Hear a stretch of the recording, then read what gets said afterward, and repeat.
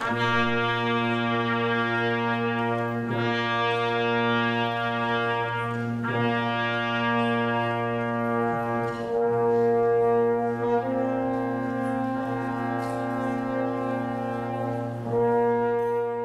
morning, and welcome to this magnificent space. God said, Let there be light, light, light.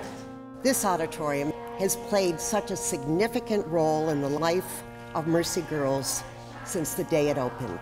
From Golden Mass to Field Day and Spirit Days to plays and performances of every kind. We've prayed here, we've been silly here, we've been inspired here, and we've been informed here. Today, we officially begin a new chapter in the history of the auditorium, thanks to the generosity of a Mercy girl from the class of 1961, Kathy Bonsignor Walgreen, and her husband, Charles Walgreen III. It's a real struggle to find the words to adequately express our gratitude to the Walgreens for making this transformation of this beloved space possible.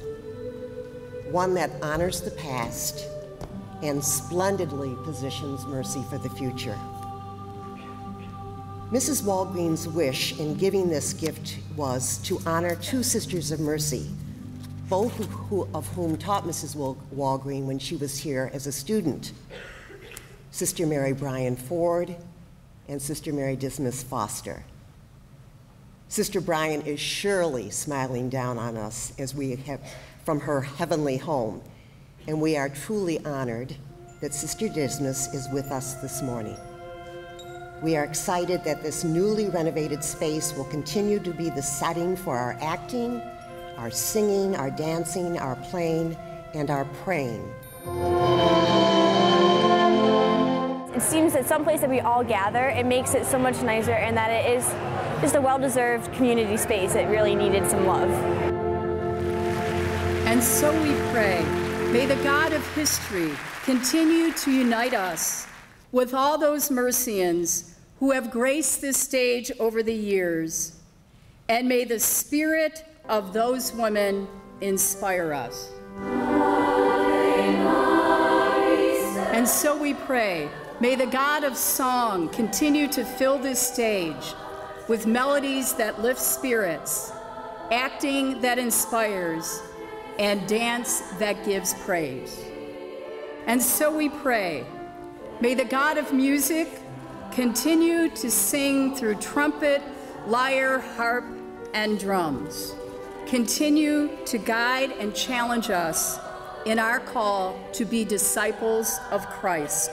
It's a bright spot, and it's a beautiful spot, and it's warm, and it's clearly, uh, you know, prepared for us because of people who love and care about mercy and care about the students in the past and in the future. I'm a third generation Mercy girl, so being able to sit in these seats um, where my grandmother and aunts and mother actually sat too is really special. And having this rejuvenated space um, where we can practice our traditions that have been here for years and really share um, our, the same special Mercy experiences as uh, the generations before us is really special.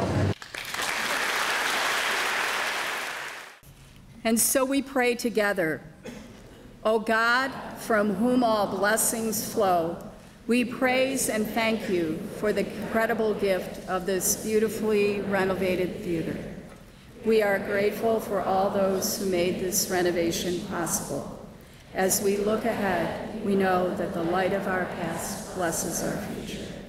May it be a future filled with hope for Our Lady of Mercy's glory. We clap our hands in praise. Amen. We all felt that little feeling inside of wonder and awe. I know I've seen the auditorium before today and even just the whole atmosphere of everyone together with all the donors, all the people who put their hard work into this, it truly made it an amazing experience that I think all of us will remember forever.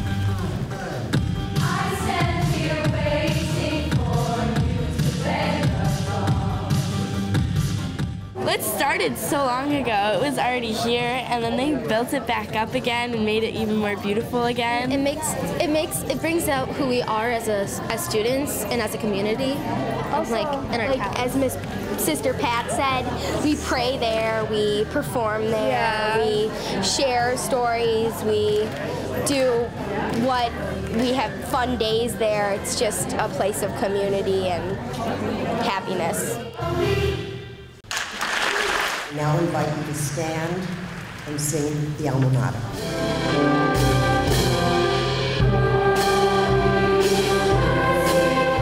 I graduated in 41, 1941. Then my first year in the convent in 1941, September, they dedicated the original auditorium. And we were thrilled. It was so beautiful and so wonderful. And now, I don't know how it could be more beautiful, but it is. It was the heart of the school, not just for me, but for everyone. And to see it the way it was a couple of years ago, I was crying. And to see it today, it's now back and it's the heart again. And that makes me feel good. And people have thanked me, but I thank God that I'm able to give.